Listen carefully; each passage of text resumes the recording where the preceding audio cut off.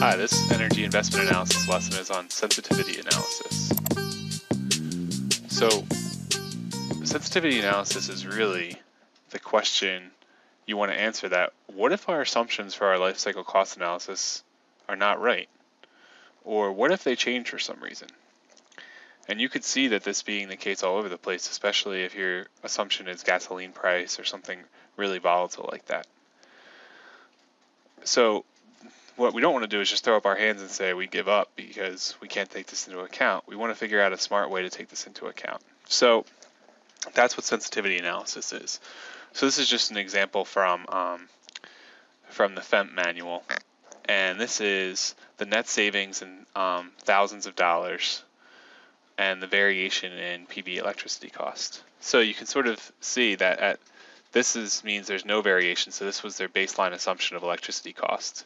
If electricity costs went down, um, then the net savings of this energy saving HVLC HVAC alternative went went up. So that's sort of the idea um, is that we have a variation, we vary a variable, and it mo- and it modifies the net savings of a project. So um, we have to learn how to build a sensitivity analysis like the one above. The first thing we need to do is we need to calculate the percent change. So this is the percent variation, the percent change, same, same thing. So this is the formula for percent change, and it's the change value minus the current value divided by the current value times 100%. So let's just do a couple examples just so you get used to this. So if I go from $4 a gallon for gasoline to $6 a gallon, what's the percent change? So it's 6 minus 4, so the change value is 6, the current value is 4, and so that percent change is 50%. And same thing for this one, the, here we're going down, so there is a negative number on the top, where, so we get a negative 25% here. Okay, so that's how you calculate percent change. So now if, if I want a percent change of minus 40% and my current value is $4 a gallon, what's my changed value? So we start with the formula, but then we can change it around a little bit. And really we can even change this a little bit more. Um, I, I kept it in this way to do the example, but we could pull out the current value. And so this would be 1 plus the percent change times the current value. And that's what we'll do in our Excel example. You'll see that. But really, um, this is how you do it. So this is the formula simplification I was talking about here. So now we have a chart like this.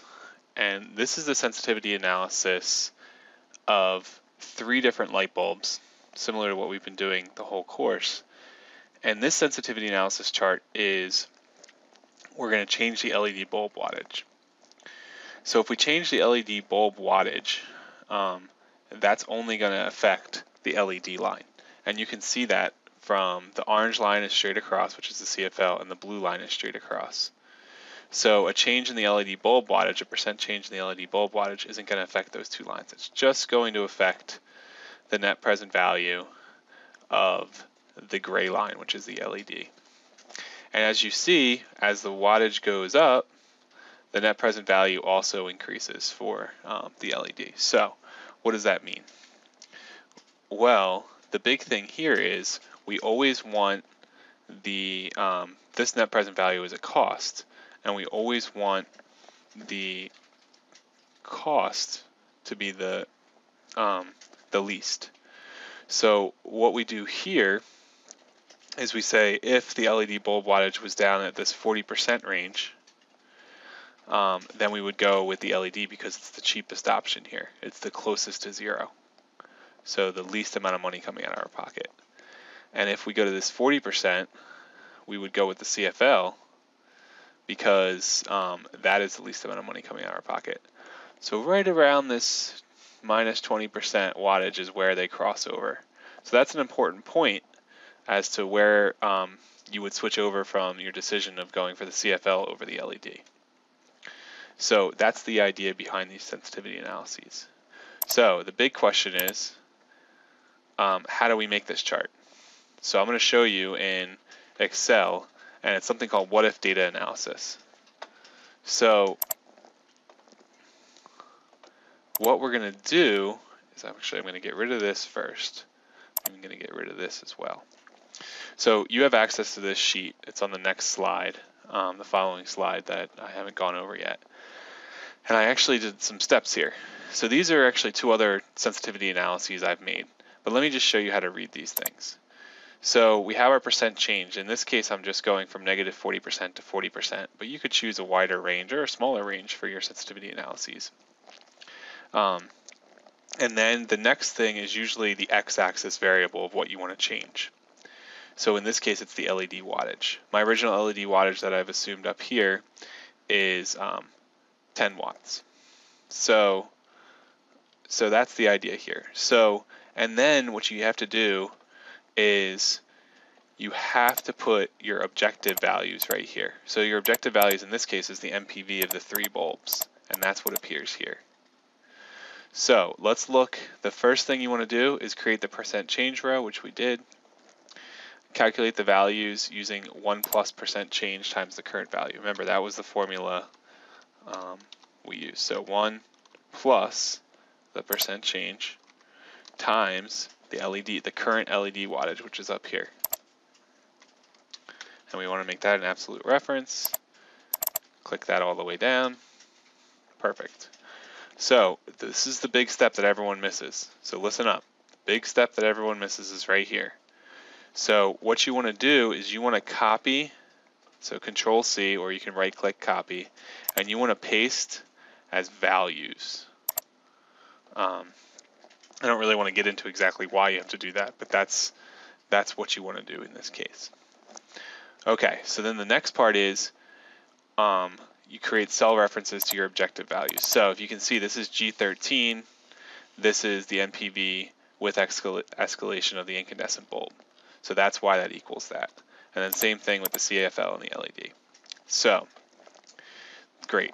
And then select the whole table and this, see this red box for reference and click on data, what if, data table. So that's what we're going to do.